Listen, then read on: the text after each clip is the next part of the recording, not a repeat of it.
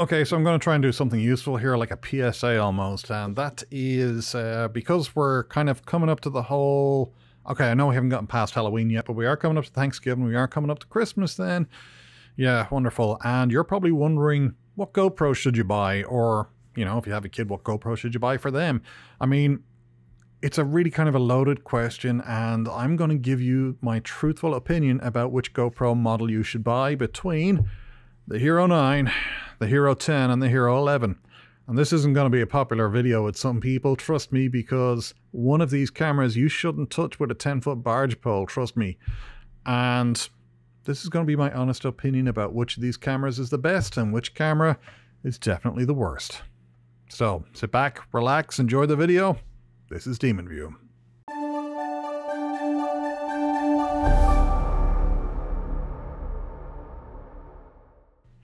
Hi there, welcome back to the channel. I appreciate you tuning in and this is going to be an important video because in this one I'm going to be recommending which camera you should buy between the Hero 9, Hero 10 and Hero 11. This is going to be pretty important considering that we're coming up to not only uh, Thanksgiving with the uh, you know, the Black Friday sales and the Cyber Monday sales, but also for Christmas. After all, you want to make sure that you choose the uh, correct camera, that it performs the way that you want, and that you're not going to have issues for it. In which case, there's definitely a camera here I would recommend, and a camera here that I definitely wouldn't recommend. So, if you like these videos, if you find them useful, please remember to click the like and subscribe buttons as it really does help out with channel views and it also puts money in my pocket so I don't have an unhappy, starving Christmas in the cold. Please, click those like and subscribe buttons. Pretty please. Anyway, on with the video. So I've owned GoPros since the Hero 2. I've actually owned three GoPro Hero 4s, two GoPro Hero 6s, two GoPro Hero 8s, two GoPro Fusions, the Hero 9, 10, and 11. So I've had quite a number of years experience with these cameras, and yeah, there are some cameras that are better than others. So we're going to take a look at the Hero 9, Hero 10, and Hero 11 and the differences between them to see if we can get a recommendation for you. Now, you may be wondering why I'm not talking about the GoPro Hero Max or the GoPro Hero 8 in this video. Well, it's simply because the GoPro Hero 8 is no longer on sale at GoPro.com, and on top of that, there was a few reasons why you shouldn't buy the GoPro Hero 8. Um, don't get me wrong, it was a fantastic camera. It really is a top performer, and I still use my GoPro Hero 8s even today. And one of the reasons that you know you kind of should avoid that camera now is that because it's out of stock at GoPro, there's certain accessories and stuff that you can no longer buy for the GoPro Hero 8. Um, if you don't know this, the GoPro Hero 8 had a non-removable front lens, and that means that if you smash or crack this lens, you would have to replace pretty much the whole camera as there was nothing you could do with it. Another thing about the GoPro Hero 8 is the side battery door, and it would pop off very easily. Now, the battery door was nice and waterproof, but you can't get replacements for it. I've searched low and high for those things, and the closest I could come was uh, a, a door on Amazon that actually had a hole for a USB cable. That might be handy for, you know, using external power supplies, but for keeping your camera watertight, it's essentially useless. So the only way to keep your GoPro Hero 8 now watertight, it will be to use one of those side doors with the USB hole in it and then put the whole camera in a protective waterproof case. So I don't really recommend that you actually go buy anything you know, prior to the Hero 9 here, be simply because trying to get replacement parts for it, spare parts, or even batteries for it might prove difficult. There are a lot of third-party vendors out there, but uh, they might not be able to get you the parts that you want. So I'm not gonna, you know, recommend the Hero 8 or anything earlier than that. I'm also not going to recommend the Hero Max as it's a 360 camera that's kind of like for a specialized shooting. And once you reframe a 360 image, even though it's a 5.6K resolution on the Hero Max, once you reframe that, you basically get like a 1080p video from it, which isn't fantastic resolution. So I'm only going to concentrate on GoPro cameras that are currently on sale on the GoPro website, and it's going to be between the Hero 9, the Hero 10, and the Hero 11. So let's take a look at some of the differences with these cameras. We'll start with the Hero 9. The Hero 9 basically has a GP1 processor and it records at a maximum of 5K 30 frames per second. But other than that, it looks pretty much the same as the Hero 10, the 11, and it also uses the same accessories and the same batteries. The Hero 10, on the other hand, records at a maximum of 5.3K 60 frames per second, and that has a GP2 processor in it. So, I mean, that's just an immediate advantage over the Hero 9, little boost in quality, but with a newer, faster processor. And then we have the Hero 11, same size, same batteries as the 9 and 10. This also has the GP2 processor in it, and it also records in 5.3K 60 frames per second, just like the Hero 10 does. However, this does have a slightly taller sensor in it so that you can reframe your shots without losing resolution. So before with the Hero 10 or the 9, if you wanted to record a portrait video for uh, TikTok or Instagram, you want to do a portrait, you'd have to turn the camera on its side and then that's basically how you would record video and maintain that full resolution. Whereas the Hero 11, because it has a taller sensor, you can actually still have the camera like this. There's no need to turn on its side. You can still have it like this and then just reframe it and you still get that high resolution video. So that's a bit of an advantage for the Hero 11. It also has some additional night presets such as star trails, uh, tail lights, and gosh, well, oh yeah, light painting. So if you are into night photography or you like to experiment with night photography, the Hero 11 is a bit of a distinct advantage over the Hero 10. So to cut to the real meat and bones of this, um, one of my favorite cameras that GoPro have ever made, you know, and this is dealing with all the models that I've ever dealt with. Uh, it's the GoPro Hero 10. Um, this is a fantastic camera. It's been absolutely rock solid for me, and I've never had a reliability issue with it at all whatsoever. Now, don't get me wrong, the Hero 11 is a worthy upgrade. I mean, it's $50 more, but it does have that taller sensor, and it does have a few extra shooting modes that I like. So you're probably wondering why I don't actually recommend it over the Hero 10, and that's simply because I've used the Hero 10 longer, whereas the Hero 11 is a bit newer and it still has to kind of like go through a few more months of testing before it kind of takes over the crown on this one. However, I can truthfully say I find myself using the Hero 11 more than I use the Hero 10, so it's it's pretty close. There's about a $50 difference price-wise between the two of these, so it's a case of if you can do without all the kind of features that are featured in this GoPro Hero 11, you could buy the Hero 10, save yourself 50 bucks, and use that 50 bucks to buy a few more accessories or a larger SD card. However, if you want the latest and greatest camera with all the functions and everything, go for the Hero 11. Um, this has also been a rock solid performer for me, and I haven't had any issues with it whatsoever. However, this is kind of where things get a little bit sad and dark. You see, there is a GoPro I don't recommend you buy, and that unfortunately is the GoPro Hero 9. This camera has a myriad of issues, and it's been very unreliable for me. So, uh, how to get into this? Do you remember a thing called COVID and we were experiencing lockdowns and, you know, told to work from home and suddenly you're all struggling to find out how exactly do we work from home? How do we set up our home offices and where the hell do I get a webcam? Well, unfortunately, the GoPro Hero 9 was released during that period just as those lockdowns were beginning and people were sick and in hospital and couldn't actually figure out how to work from home. And that really did affect the design and quality of this camera. Um, it was pretty much designed, built, tested, programmed during those lockdowns, and as a result, this camera was delayed upon release. It actually missed its release date. And when it was released, it just didn't work properly. Uh, it wasn't capable of recording GPS when it was first released, and the black back screen here was absolutely terrible. You press it and press it, and it wouldn't do anything at all whatsoever. yeah, it was just a bad camera upon release, and subsequently things didn't get any better. It seemed like every month there was another firmware update, followed by another firmware update just to fix issues with this camera, and this camera still has issues. And we're going to get into that now in this video and why you shouldn't buy this camera. Okay, so I've just enabled quick capture on this. I'm holding the camera in my hand and I'm recording this video here. So as you can see, it's recording in 4K, 30 frames per second, and that's with linear horizon, yay, and horizon leveling, of course.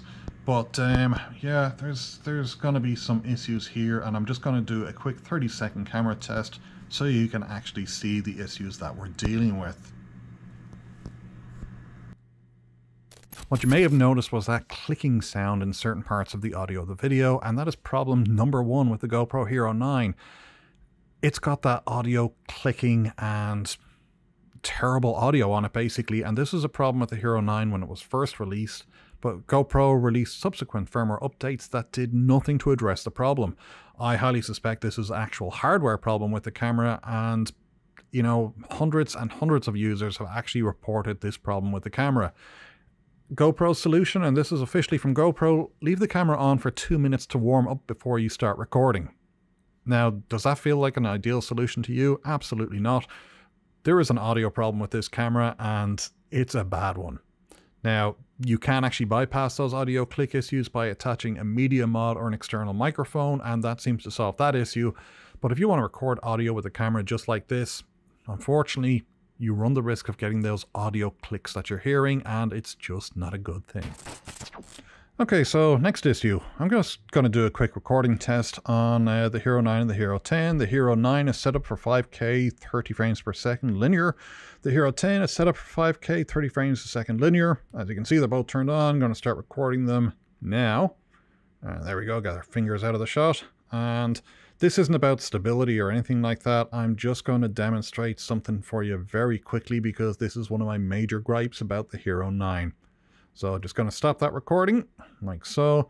And what we're going to do is just going to leave the cameras on and we're going to open up GoPro Quick.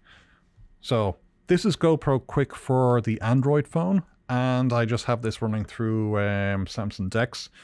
So here we go. GoPro Hero 10, camera found, view media. We're going to connect to the camera here now and download a file. Now it does take a few seconds for this to connect and you know I've never actually tried to connect this while it's hooked up to Samsung DeX so hopefully it works. There we go. These are the files that are on there and we're just going to select this file. Now the picture may look kind of bad in low resolution and that's because when you're viewing through the app you actually are looking at a low resolution file. You're not looking at the full quality file. But we're just going to download that clip like so. And as you can see, it was actually pretty quick to download there. It was only a few seconds, but it was actually pretty quick to connect to the camera itself. And that's kind of one of the bugs that I really don't like about the Hero 9, and that's the Bluetooth connectivity. It's just not great. Okay, that's downloaded. Gonna go back out of that. Back out of that. And there we go. Now we're gonna go to the GoPro Hero 9. There's the GoPro Hero 9 camera found. Let's go and connect to View Media. And this is where the waiting game begins because it takes a hell of a long time for this to connect. I mean, as you can see, we're waiting and waiting and waiting and waiting. There we go. We've finally connected. And as you can see, now we have to wait for these thumbnails to populate. And this is just because of the slowness of the camera itself. It seems to take a while for this to populate. We're going to try and speed things up here because I'm going to just pull down here to refresh the gallery. And there we go. Now, as you can see, it's got these uh, little exclamation marks on it, and that's because it was recorded at full resolution. And the GoPro Hero 9, because it's using an older processor, it won't play back the file. Like with the other files, you can play it back directly on the camera or on the phone that's on the Hero 10, but the Hero 9, playback not supported, you have to download the file. Okay, let's download the file. So, going pretty quickly because it's such a small file.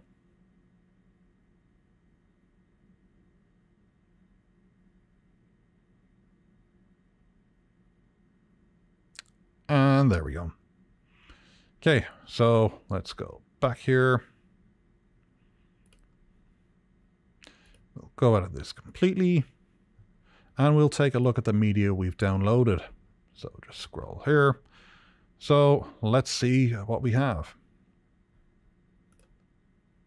So this on the GoPro Hero 10 and it looks really kind of bad here, but don't forget this is actually playing through an emulator, so this is not what the footage looks like. I'll actually pretty much put the whole footage up there. You're just watching a screen capture. Now I'll go to the one from the GoPro Hero 9. And this is where the problems begin. I've just downloaded this file from the Hero 9 and it won't play back. So as you can see, it isn't capable of playing back that GoPro Hero 9 file. In fact, here's the thing, if you record with this GoPro, you're going to have to take the SD card out every single time, put it in the uh, PC to actually get your file off the camera. And um, that's still spinning around and still not capable of playing. So as you can see, this is just not working and that's pretty bad. So I'm going to show you what I usually have to do to get this uh, GoPro Hero 9 to perform properly. I usually have to connect to the GoPro Hero 9, go back into View Media, wait for it to connect. And I might be waiting quite a while. I might put in some more trivia here for you.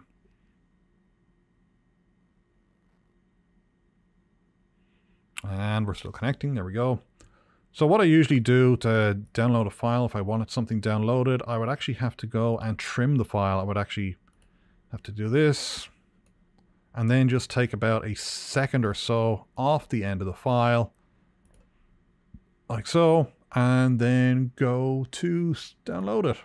So if I save this now, it's going to go and save it to my GoPro app.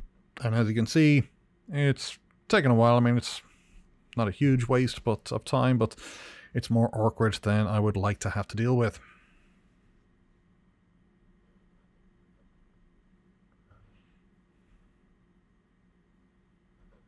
So now if I click on the file, I can actually play back that file. It's not a problem and it's working.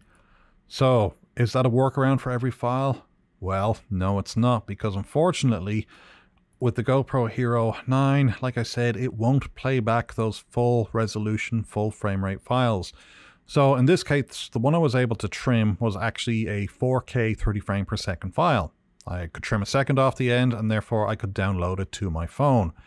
However, with a file that's recorded in 5K 30 frames per second, the issue is I can't actually do that. Because it won't allow me to play back or edit the file on the camera, I have to download the entire file. And if I download the entire file without trimming that one second off the end of it, unfortunately, I just can't play back the file then because I just get this spinning wheel of death. And unfortunately, that's not the only problem with GoPro Hero 9. One of the other issues I've had with this GoPro Hero 9 is the connectivity and reliability. Um, as you know, I do a lot of aviation videos and I usually, well, I used to have a GoPro Hero 10 mounted on one wing and the GoPro Hero 9 mounted on the other wing. Problem is, I would be using my app to control the cameras and I would start and stop recording.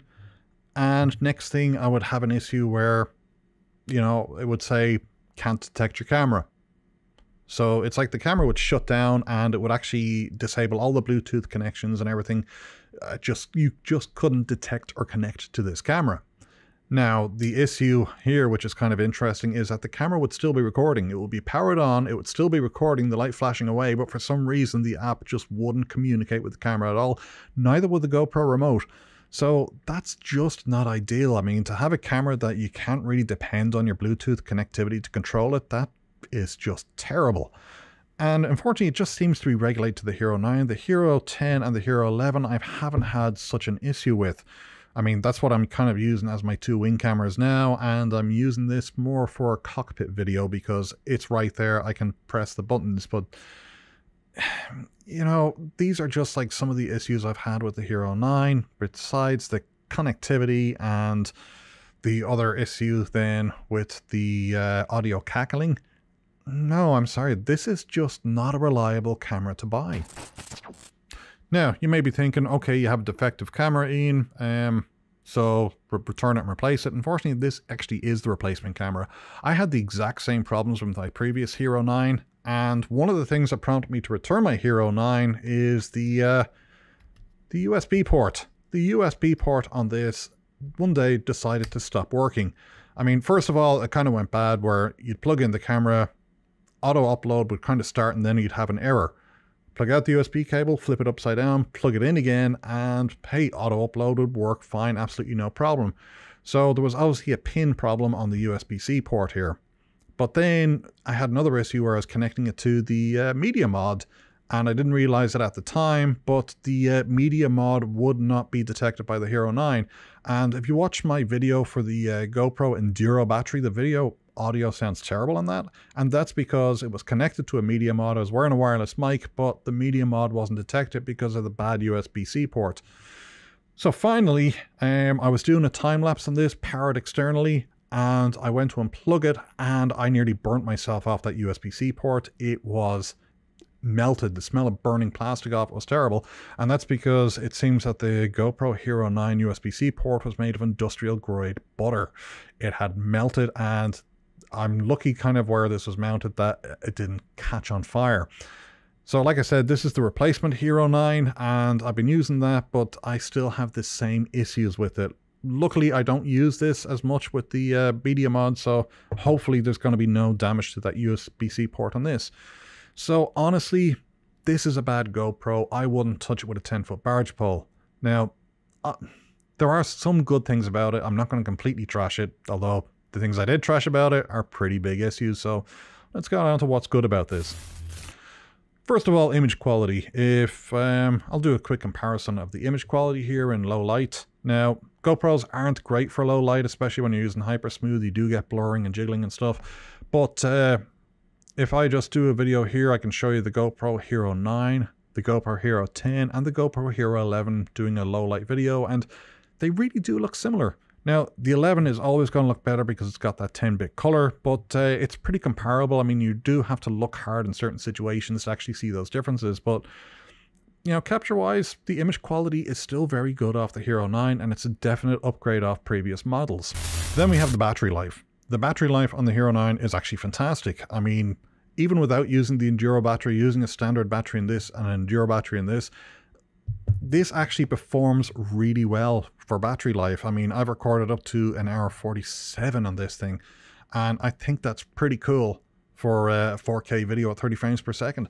So if you want long battery life, I highly suspect since it's using the older processor, it's less power hungry, and therefore it gives you much better power uh, battery life than the other newer models that use an upgraded uh, chip, which is a bit more power hungry. However, for me, decent picture and decent battery life doesn't matter a damn thing if it's not reliable at all. And unfortunately, with the connectivity issues and being able unable to download video clips and watch them and edit them, that just puts the Hero 9 in the wastebasket for me. I mean, if I was recording with this and I had to submit a clip suddenly to a news company and I wanted to edit it quickly on my mobile app and send it to them by putting it in like a Dropbox or something, I can't do that with the Hero 9. I just cannot depend on the Hero 9 to be able to do that. But with the Hero 10 and the 11, not a problem. And that's why I mainly use those two cameras. So, you know, that kind of sums up some of the issues I've had with this Hero 9. Like I said, I do like GoPro as a company, but this this is just a bad camera. So it does not earn my recommendation as a buy. That's my opinion. That's my experiences with it. So if you're going to buy something, Make it the Hero 10 or the Hero 11. I think you'll be perfectly happy with those. So, I hope you found that educational without being too rambling, and hopefully I can get back and make another video for you later. So until then, thank you for watching. Remember to click those like and subscribe buttons. Remember, I'm doing all this so you don't have to waste your money or time doing all this research. And basically, you clicking like and subscribe helps out with those channel views and also helps earn me a bit of cash in the meantime. So thanks very much for watching. I appreciate you and say cheerio.